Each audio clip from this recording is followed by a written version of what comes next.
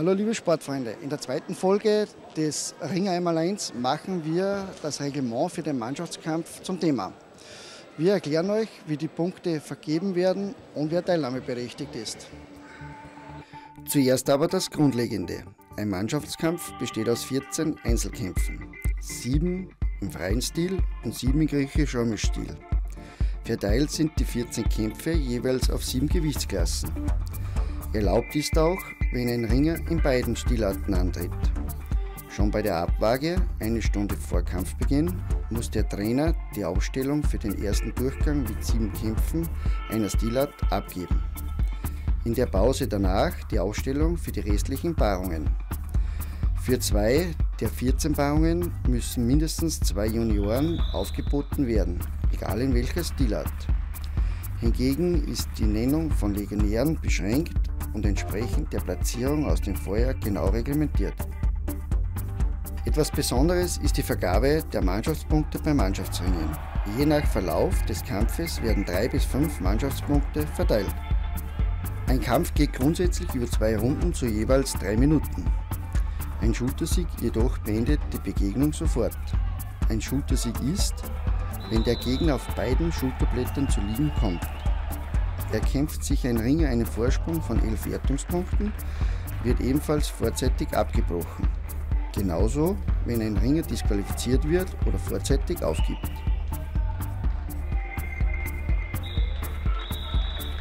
Vier zu 0 Punkte bekommt eine Mannschaft zugesprochen. Für einen Schultersieg, für ein vorzeitiges Ende wegen technischer Überlegenheit ohne Wertung für den Gegner, bei Aufgabe auch wegen einer Verletzung, bei Disqualifikation zum Beispiel nach der dritten Verwarnung, bei Nichtantreten des Gegners. 4 zu 1 Punkte bei einem Sieg wegen technischer Überlegenheit bei einer Wertung für den Gegner. 3 zu 0 Punkte bei einem Sieg über zwei volle Runden ohne eine Wertung für den Gegner. 3 zu 1 Punkte bei einem Sieg über volle Kampfdauer mit einer gegnerischen Wertung. Der Sieger des Abends ist jenes Team, das am Ende die meisten Mannschaftspunkte gesammelt hat. Das Besondere bei diesem Punkteschlüssel ist, dass ein Ringer trotz Niederlage zu einem positiven Mannschaftsendergebnis beitragen kann. Das sorgt für viel Spannung.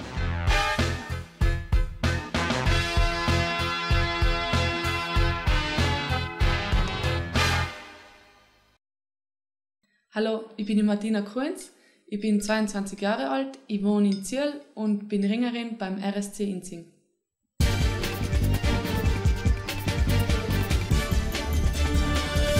Ja, sehr exotisch in Österreich.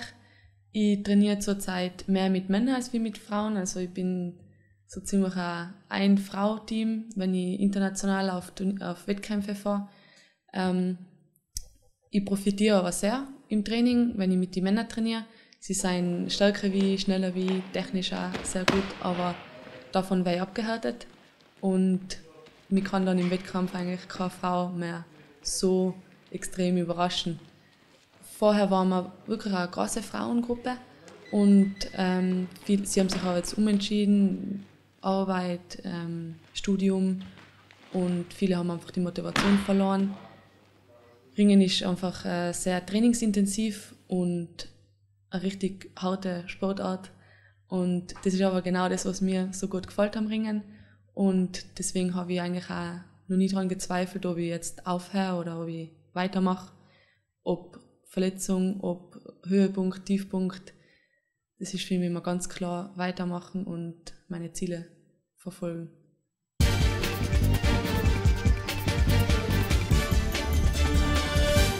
Seit 2009 im Nationalteam und bin dort zu meiner ersten Europameisterschaft gefahren. Und meine größten Erfolge haben dann gleich 2010 angefangen. Da habe ich bei der ähm, Jugend-Olympia-Qualifikation teilgenommen. Dort habe ich den zweiten Platz gemacht und habe mich somit für, für Singapur qualifiziert und dort haben eben die ersten Jugend-Olympischen Spiele stattgefunden. Danach, 2000 2011 war ich bei der Kadetten-Europameisterschaft. Da habe ich können Silber erringen Und ziemlich bald drauf, am Monat später, war ich bei der Weltmeisterschaft, bei der Kadettenweltmeisterschaft und da ist sich noch Bronze ausgegangen. Danach bin ich in den Juniorenbereich gekommen. Ähm, dort habe ich müssen ein bisschen Lehrgeld zahlen. Ich war ähm, viel verletzt, habe aber immer wieder einen Weg zurückgefunden und habe mich zurückgekämpft und ähm, schließlich ist dann 2016 gekommen, bin dann zur, zur U23 Europameisterschaft gefahren und habe da keinen Silber erkämpfen.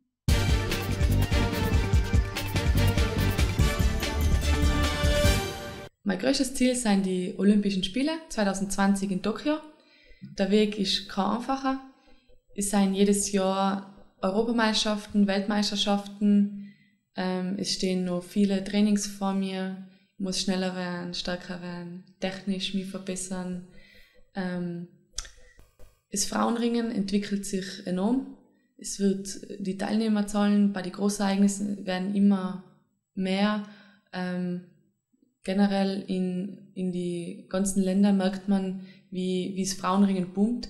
Seit 2004 ist es olympisch und man merkt von Jahr zu Jahr einfach, wie es sich entwickelt und ich würde mir wünschen, in Österreich wird sich auch entwickeln und generell der Nachwuchs ein bisschen mehr kommen, also die Mädels.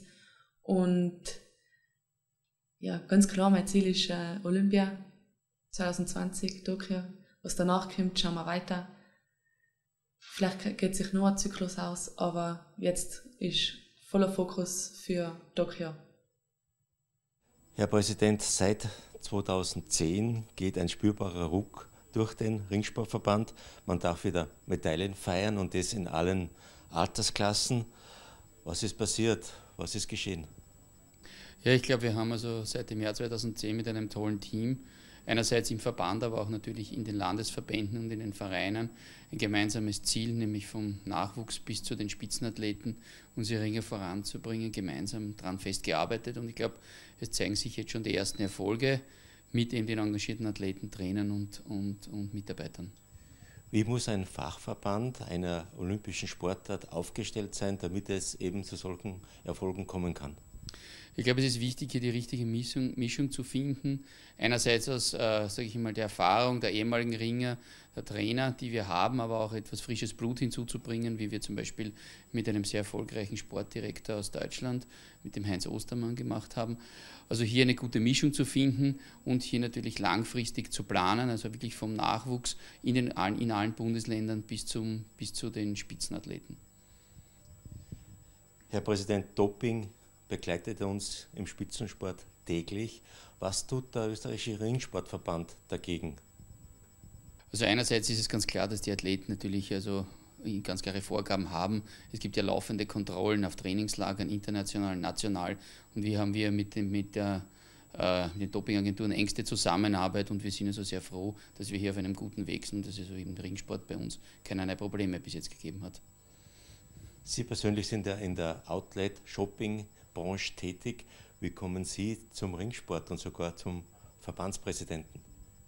Ja, das hat sich damals ergeben durch, die, durch das Outlet Center hier in Salzburg, äh, wo ich schon die ersten Kontakte zum AC Wals geknüpft habe, aber ich mich begeistert halt der Enthusiasmus dieser einer der ältesten und traditionellsten Sportarten der Welt. Und ich glaube, wie man sieht, auch mit tollen Engagement kann man viel erreichen, auch in einem kleinen Verband, wenn man gemeinsam an einem Strang zieht und gemeinsam hohe Ziele verfolgt. Der Ringsportverband oder der Ringsport selbst wird eher als Randsportart bezeichnet. Gefällt Ihnen das?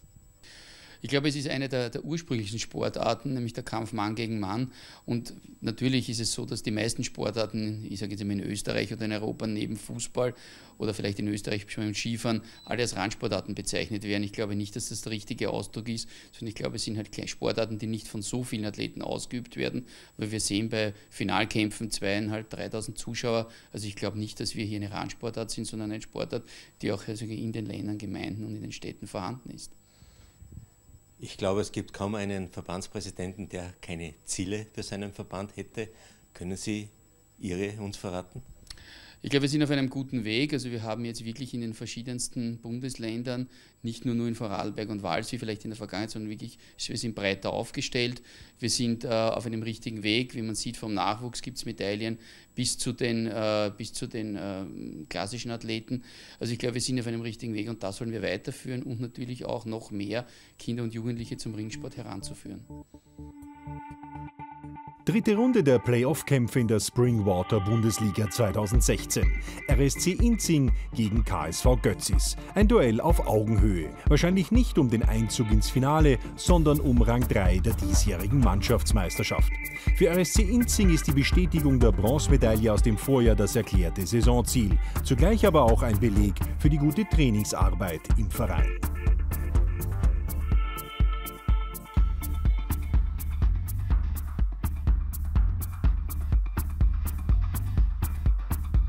Es zeigt insbesondere die Tatsache, dass wir ja bei allen Vereinscups in Österreich unter den Top 3 sind. Und äh, nicht zuletzt haben wir die Zahl 3, glaube ich, ein bisschen magisch heuer. Wir haben als einziger Verein drei Medaillen erringen können, und zwar in verschiedenen Bereichen. Äh, die Martina Kruens hat auf der U23 EM eine Medaille geholt. Der Michael Wagner vor einer Woche bei den Polizei-Europameisterschaften eine Bronzemedaille. Und heute, last but not least, unser Daniel Gastl hat der Studenten-Weltmeisterschaft Silber geholt. Er fehlt uns zwar heute, aber so muss ich sagen, wir haben drei Medaillen. Welcher Verein kann so eine Breite vorweisen wie wir? Einer der drei Inzinger Medaillengewinner ist auch bei diesem Playoff-Kampf zu sehen. Und das sogar zweimal gegen den Vorarlberger Allrounder Elias Pajancic. Ja, ich bin der Wagner Michael. Ich kämpfe bis 88 Kilo, international bis 80 Kilo. Meine größten Erfolge sind Polizei, dritter Platz bei der Polizei-Europameisterschaft, 16. bei der Weltmeisterschaft und 5. bei der U18-Europameisterschaft und ich habe 2000 mit dem Ringen begonnen. Michael Wagner hier im roten Trikot ist zudem ÖRSV-Kaderringer und einer der Hoffnungen für Tokio 2020. Entsprechend intensiv geht er im freien Stil und später auch im griechisch-römisch-Bewerb ans Werk.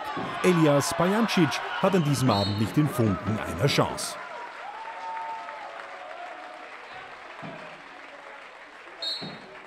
In beiden Kämpfen heißt der Sieger Michael Wagner durch technische Überlegenheit.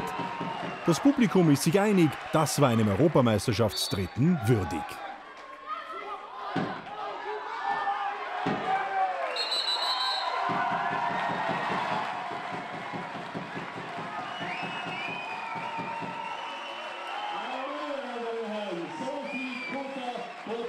Ja, also ich bin sehr froh über den Erfolg, muss ich ganz ehrlich sagen. Ich hätte mir nicht gedacht, dass es schon bei der ersten Polizei-Europameisterschaft so gut laufen wird. Es war ein relativ starkes Turnier, also es waren einige in der Gewichtsklasse bei mir drin, die international Spitzenleute sind, angefangen von einem Nachwuchs-Europameister bis hin zu EM und WM oder Olympiateilnehmer sogar. Und durch das hat schon relativ einen hohen Stellenwert. Natürlich ist es nicht so stark wie eine normale Weltmeisterschaft oder Europameisterschaft, aber es knüpft schon sehr knapp dran. Wenn man jetzt in die nächsten vier Jahre hineinschaut, wie schauen die Ziele aus? Ja, ganz klar, das große Ziel ist 2020 Tokio, Olympische Spiele. Ich will gerne mein Land dort vertreten. Wie es da ausschaut mit den Gewichtsklassen, das wissen wir noch nicht. Das Reglement ändert sich immer wieder. Aber ich werde auf jeden Fall die Gewichtsklasse anstreben, damit ich dann bei Olympia schlussendlich dabei sein kann. Den spannendsten Kampf des Abends liefern sich zwei Athleten, die international zwar noch nicht in Erscheinung getreten sind, sich jedoch als Mannschaftsringer für ihre Vereine unentbehrlich gemacht haben. Bin der Shamil Feitel, bin 18 Jahre alt. Mein größter Erfolg war, ich war Vize-Österreichischer Meister bei den Junioren und ringe schon seit sechs Jahren. Ja, grüß Gott, ich bin der Lengle Simon, ich ringe von KSP Götzis. Der ist mittlerweile schon seit 18 Jahren. Shamil Feitel im roten Trikot fordert den um sechs Jahre älteren Simon Lengle. Der Vorarlberger punktet immer wieder mit viel Routine.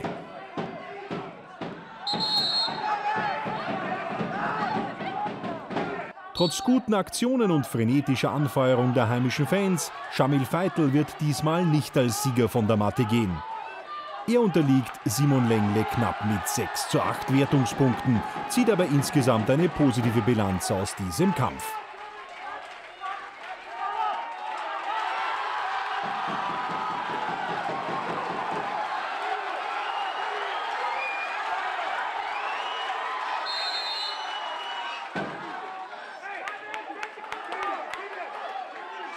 Ja, ich war eigentlich ziemlich zufrieden, weil ich war jetzt die letzten drei Wochen verletzt am Knie und das war jetzt eigentlich mein erster Kampf seit drei Wochen fast und bin eigentlich zufrieden.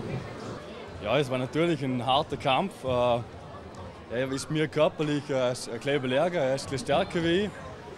Ähm, am Schluss sind beide sicherlich, äh, wie man gesehen hat, äh, ein bisschen Mühe gewesen.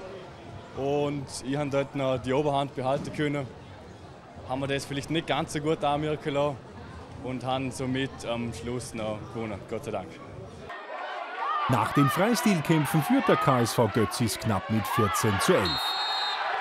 Ein Vorsprung, der gleich zu Beginn der griechisch-römisch-Runde wieder verloren geht. Wolfgang Norz im roten Trikot trägt dazu einiges bei. Er besiegt im Duell der Junioren Simon Ender auf Schulter und sichert so RSC Inzing vier wichtige Mannschaftspunkte.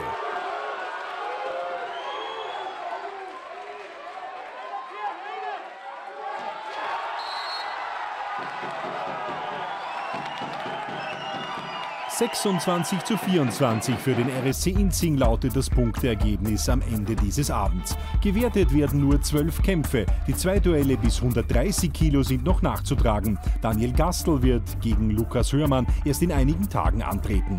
So bleibt im Mannschaftskampf Inzing gegen Götzis noch alles offen.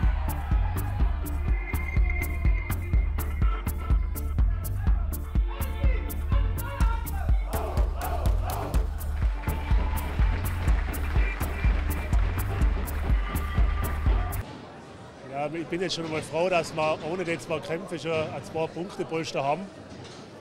Und jetzt hoffen wir natürlich durch die zwei Kämpfe mit dem Dani, dass wir es vielleicht sogar noch ausbauen können. Matthias Kattern, zufrieden mit dem Kampf heute?